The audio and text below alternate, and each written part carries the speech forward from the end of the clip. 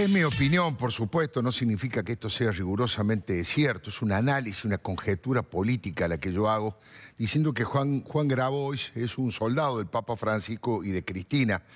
Digo, hasta hace una semana era asesor de Francisco Grabois, del Papa, en el Consejo Pontificio de Justicia y Paz.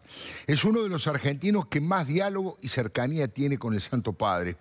Grabois dice que no es kirchnerista en el más, digamos, riguroso sentido de la palabra, no lo es, porque nunca se afilió a ningún partido político, yo no niego eso. Yo digo que es kirchnerista en el sentido de su funcionalidad para Cristina y para sus cómplices por las posiciones públicas que tiene y por las cuestiones que defiende.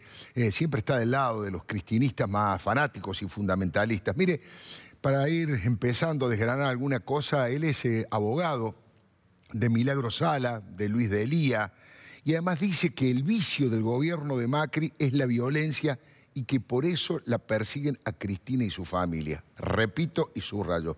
Dice Grabois que no es kirchnerista, pero él dice que el gobierno de Macri persigue a Cristina y su familia no me cree la justicia. Es raro lo que dice Grabois, ¿no? Y también lo preocupante es que muchos de esos dirigentes sindicales lamentablemente están vinculados al, Papa Francisco.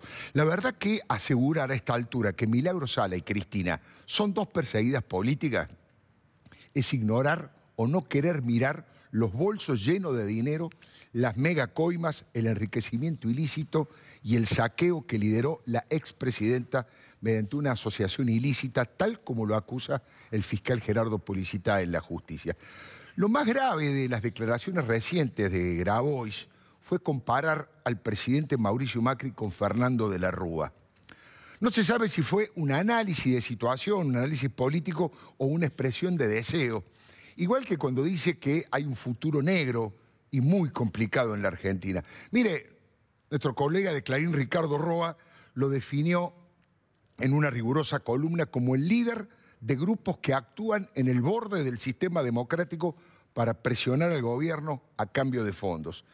Grabois caracterizó al presidente Macri, más allá de decir que su vicio es la violencia, como un liberal postmoderno y un populista de derecha que heredó una fortuna de la corrupción de Estado, obviamente refiriéndose a su padre Franco Macri. De la fortuna de Máximo y Florencia, hasta ahora no ha dicho una palabra. Claro, para él probablemente sean perseguidos políticos. Impresionante.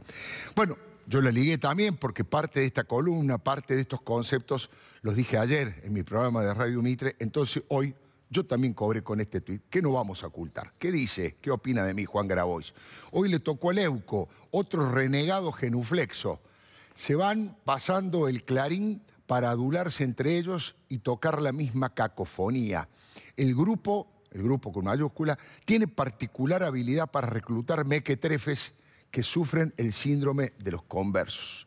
Bueno, hace exhibición de... tiene información, ¿no? Bien, Grabois, ¿eh? Sabe de dónde venimos política, ideológicamente, tanto Roa como yo. Por supuesto, de la izquierda venimos. ¿Y, ¿y cuál es la diferencia? ¿Cuál es? Estamos hablando de hace 35 Ha pasado algunas cosas en el mundo. Se han caído algunos muros de Berlín. Se persigue a la gente en Cuba y en Venezuela y la gente huye despavorida de esos países. Algo ha pasado en el mundo, Grabois, aunque usted no lo quiera registrar. Mire, ¿yo sabe cómo lo caracterizo a él? Es mi opinión, no digo que sea la verdad. Creo que es un peronista chavista papista. Peronista, papista, chavista. Pero en la Universidad de San Martín, en su revista, lo han caracterizado la revista de la universidad como de formación marxista con influencias católicas y peronistas.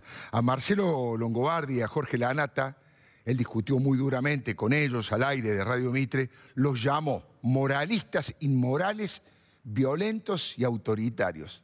Longobardi y la nata violento y autoritario han padecido la violencia y el autoritarismo acá. Pero bueno, y eso que el Papa recibió a Marcelo Longobardi y a su familia con muchísimo afecto y cordialidad. Y en mi caso tengo tres bendiciones, tres bendiciones de puño y letra del Papa Francisco, además de su último trabajo este, dedicado. Pero no importa eso.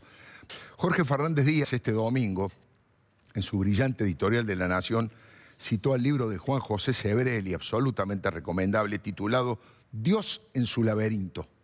Allí define al Papa Francisco como un conservador popular y a sus apóstoles los critica porque no encuentran en la pobreza una carencia y sí una virtud. Y se proponen para gerenciar, gerenciar la dádiva y no para ayudarlos a salir de la pobreza. Provocador como siempre, Sebrelli nos obliga a pensar en otra columna sobre este tema del rol del Papa en la Argentina actual.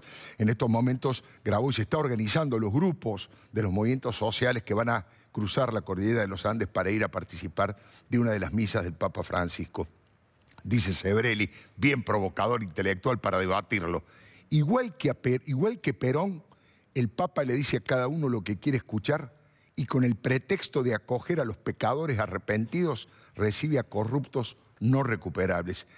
Ese es un tema para otra columna seguramente y Grabois debería saberlo para luego poner el grito en el cielo.